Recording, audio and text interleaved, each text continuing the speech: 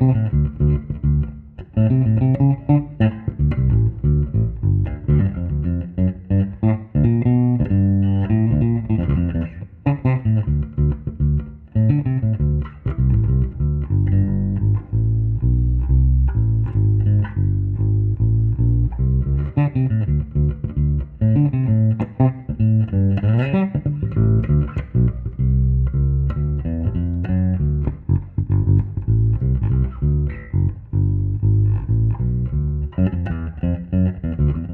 Everybody. Thank you for tuning into CLF Research. My name is Dave McLaren, and today we are going to do a little demonstration of this uh, breadboard instrument. This is what Leo Fender called his breadboard instrument. It was for the purpose of pickup testing.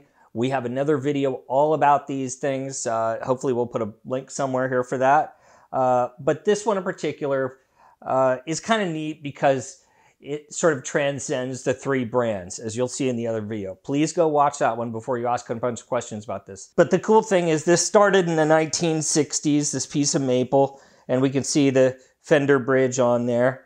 And then as we moved into here, into the 70s at CLF Research here, it got a Music Man neck, which was then the current thing that was about to uh, begin production here in the CLF Research Factory. And then you can see him experimenting with these uh, single large pole MFD pickups. I don't know if I said that right. Well, they're single coils, MFD, with the large pole pieces like the L2000, not like the later MFD based pickups where you'd see like the little bipole arrangement. These were just single large adjustable pole pieces. So the cool thing about this again is that it trans it sort of touches all three brands. So this is where you see um, the man's personal journey transcend the brands. You can just see, hmm, this is what I was working on then. Uh, now I'm putting this neck on because I'm working on this. Uh, the bridge is adequate because this is just a pickup tester. You, you could see this isn't supposed to be a tone machine, but it's an approximation.